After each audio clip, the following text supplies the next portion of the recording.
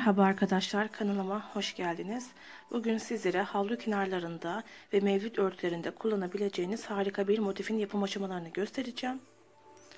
Bu motifimiz 3 e, iple yapılıyor. Birincisi yeşil, ikincisi e, orta göbek ve uç kısımları, üçüncüsü de e, orta göbeğinde kullanmış olduğumuz rengin bir ton koyusu. Ben bugün size bu motifin beyazlı mavili olan modelini göstermeye çalışacağım. Motifimizin orta göbeği tığ tekniğiyle yapılıyor.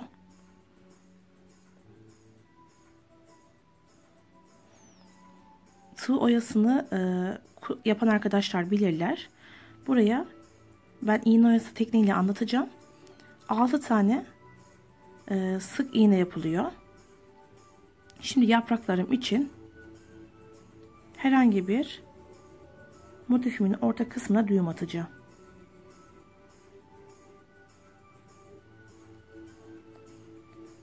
Şu kısma.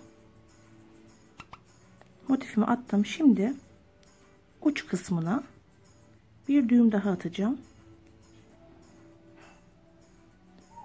Sabitlemek için. Şimdi aynı karşı kısmına da düğüm atacağım.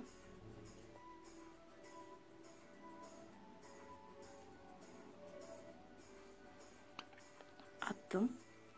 Şimdi tekrar geriye dönüyorum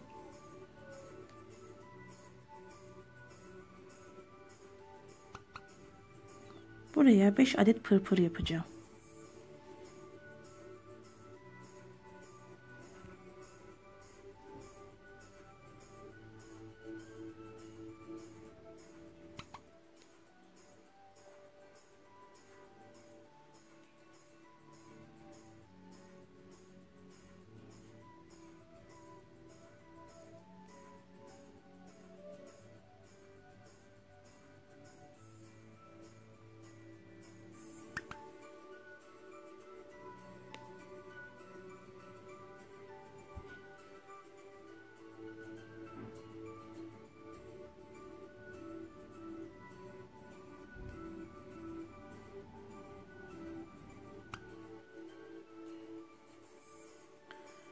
3. de yaptık. Birazcık geriye çekelim.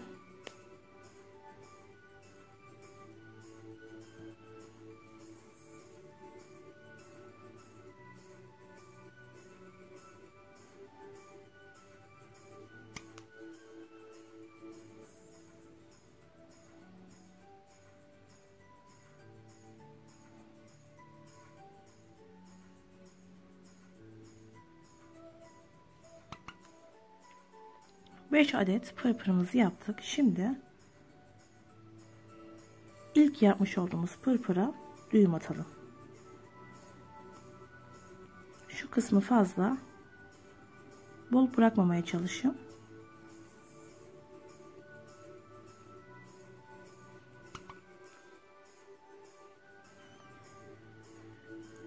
Şimdi ilk pırpıra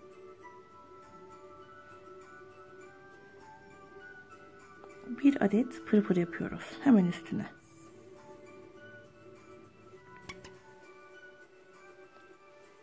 Şu şekilde. Şimdi yandaki pırpırlara zürafa yapıyoruz.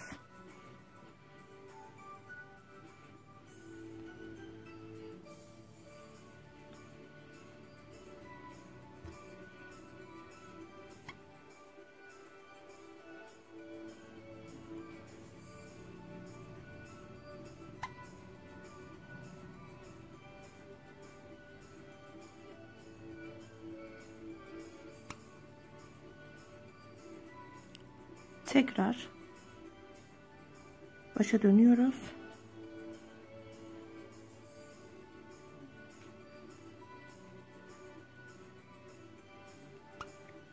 Şimdi zürafamızın içine bir adet pırpır yapıyoruz.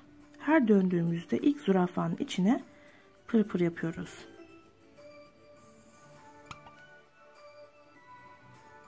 Şimdi yandan Devam ediyorum.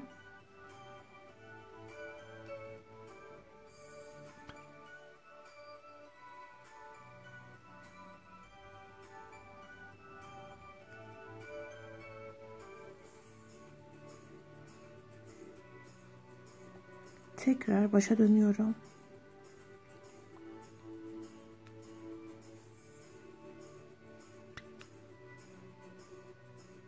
İlk yaptığım gözlemenin içine pırpır yapıyorum.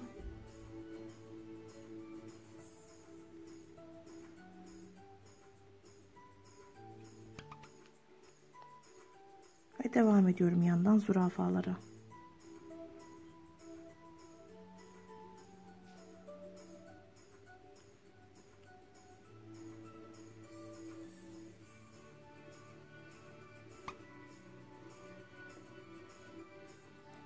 İlk gözlemeye batıyorum. Geriye dönüp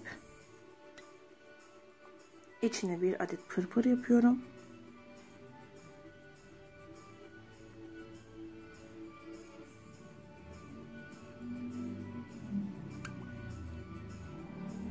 Son gözlemem kaldı.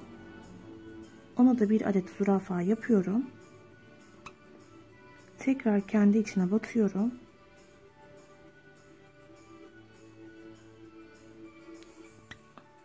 Şu şekilde ve kendi içine de bir adet pırpır yapıyorum.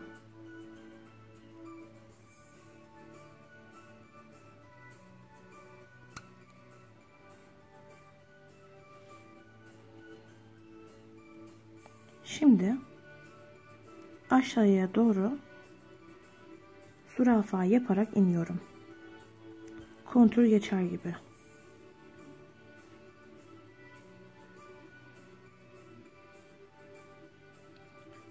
Şu şekilde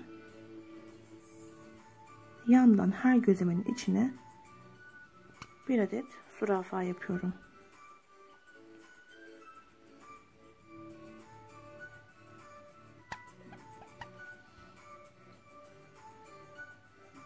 Şimdi pırpırımın orta yuvasına batıyorum. İpimi aşağı indiriyorum düğüm atarak.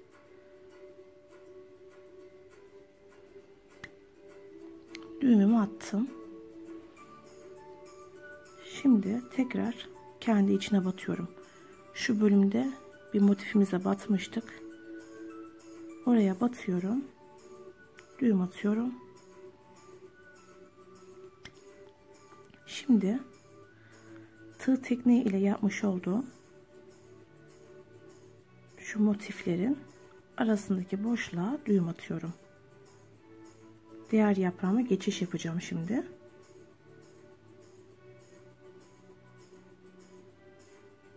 Şu kısma battım. Tekrar aynı şekilde motifin uç kısmına düğüm atıyorum. İlk yaprağımda yapmış olduğum gibi. Şimdi yan tarafa tekrardan batıyorum.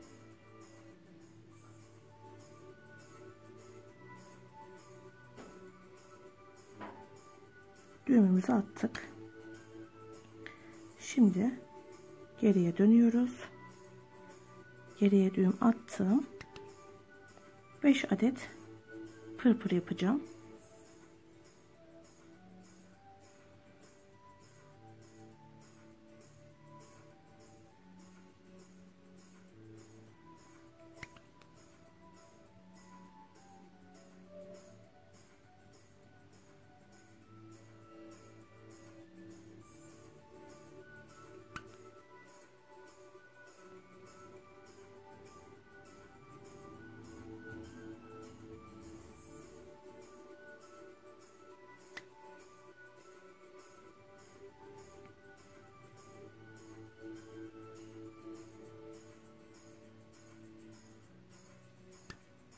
Dört oldu. Son pırpırımı da yapıyorum hemen.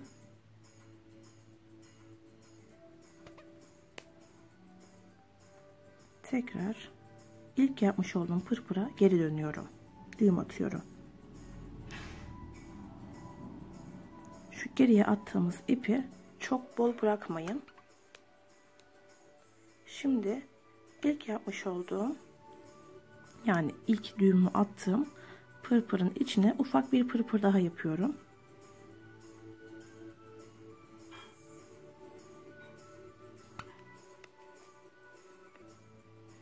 Şimdi yandaki pırpırların üzerinden zürafa yaparak geçiyorum.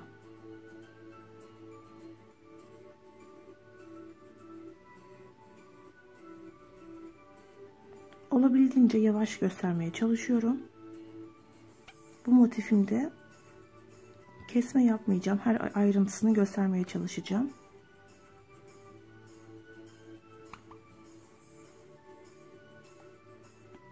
Tekrar ilk yapmış olduğum gözlemeye geri döndüm. Şimdi aynı gözlemenin içine bir adet pırpır yapıyorum.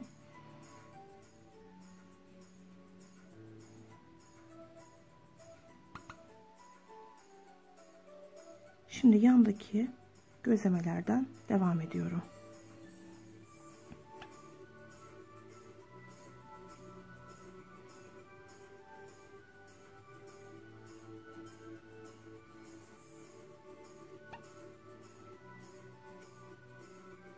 Bu motif havlu kenarları modellerine çok güzel yakışıyor. Ee, her renginden yapmış olabilirim. Şu an hatırlamıyorum ama çok sipariş yaptım bu modelden. Gerçekten bohçada olması gereken bir model.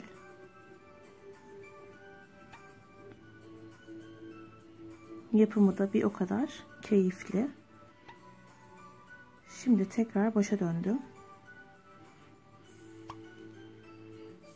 İlk zürafanın içine pırpır bu yapmış olduğumuz pırpırların da boyutlarını güzel ayarlamaya çalışalım. Aşağıdan yukarıya çıktığımız için yukarıdaki yapmış olduğumuz pırpırları alttakinden daha uzun yapmamaya çalışalım. Son gözlememize geldik. Tekrardan kendi içine batarak geriye dönüyorum. Ve bir adette kendi içine pırpır yapıyorum.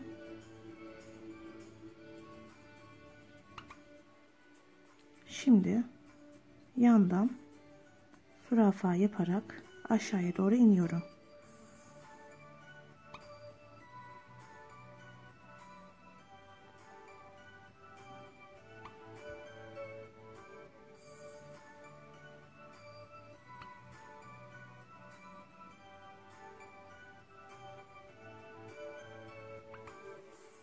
Tekrar kendi yuvasına batıyorum.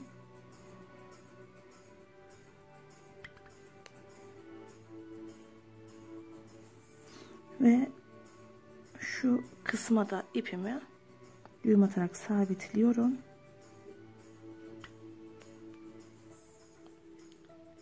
İki motifin arkasına yani ortasına arkasına değil orta kısmına düğüm atıyorum.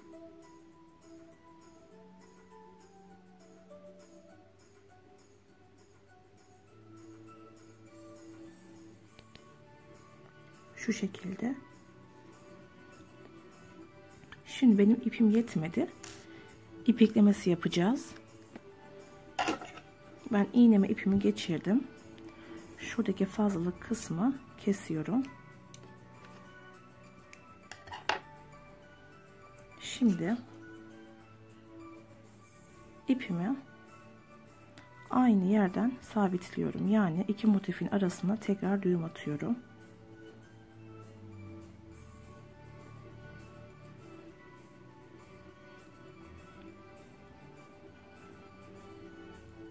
İp ekleme kısımlarınızı burada yaparsanız daha iyi olur. Şu şekilde. Şimdi aynı motifin içine yani uç kısmına beyaz motifin uç kısmına ipimi sabitledim. Karşı uç kısmına da sabitliyorum.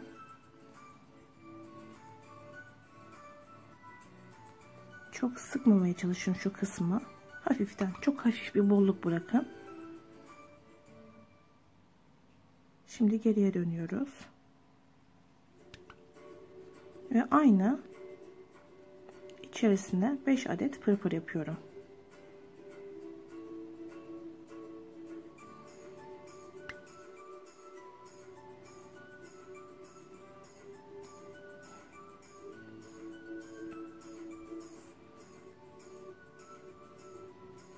Pırpır yaparken ilk yaprağımızda şu kısmı yani şu kısım çok ufak olduğu için çok zor, zorluk oluyor pırpır yaparken ama döndükçe şu iki pırpırı rahatlıkla elinizden destek alarak şu kısmı sabitleyebilirsiniz.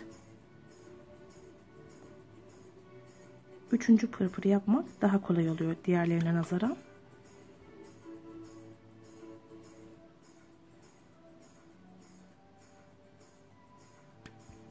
4 ve son pırpırımızı yapıyoruz.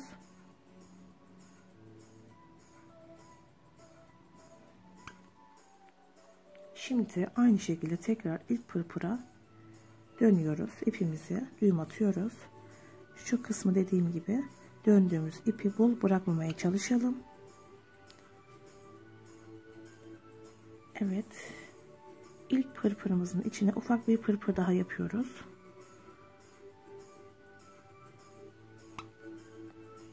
Şimdi yan tarafından zürafa yaparak son pırpıra kadar gideceğiz.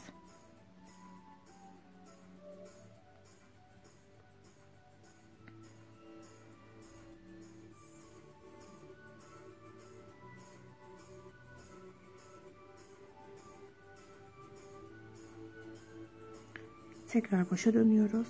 İlk yapmış olduğumuz zürafanın içerisine bir adet pırpır yapıyoruz.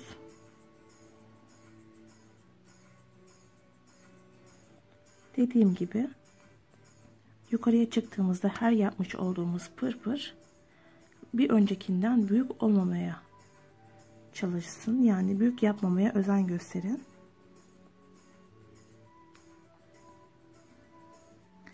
Biri büyük biri küçük durursa görsel açıdan kötü bir görüntü sergiler. Çok aşırı büyük yapmamayı da çalışın pırpırlarınızı.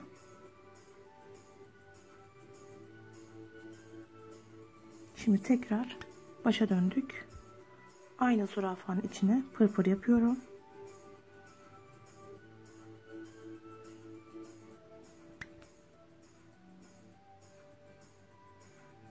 yandan devam ediyorum.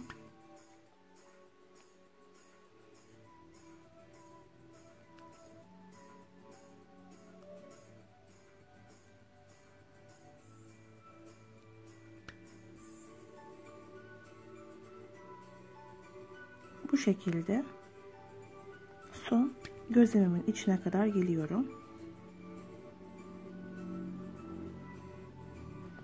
Son gözlemenin içine tekrardan batarak geriye dönüyorum. Ve kendi içerisine de bir adet pırpır yaparak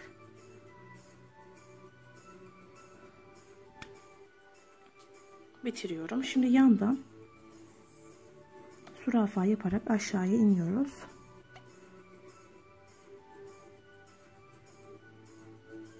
Her gözlemenin içine batmaya çalışın.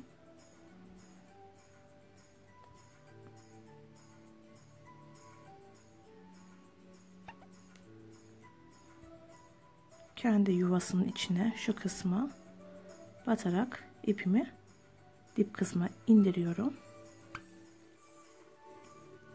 Şimdi tekrar kendi içine batıyorum. Şu kısma düğüm attığımız beyaz kısma.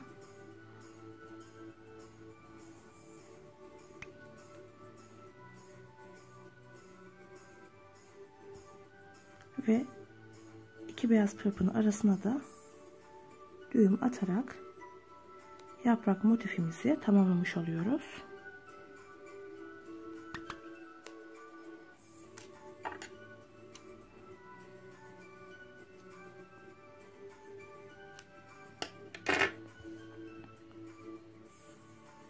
Motifimiz bu şekilde alacak. Arka kısmındaki görsellik de bu şekilde. Bu ip bıraktığımız yerleri yakabilirsiniz.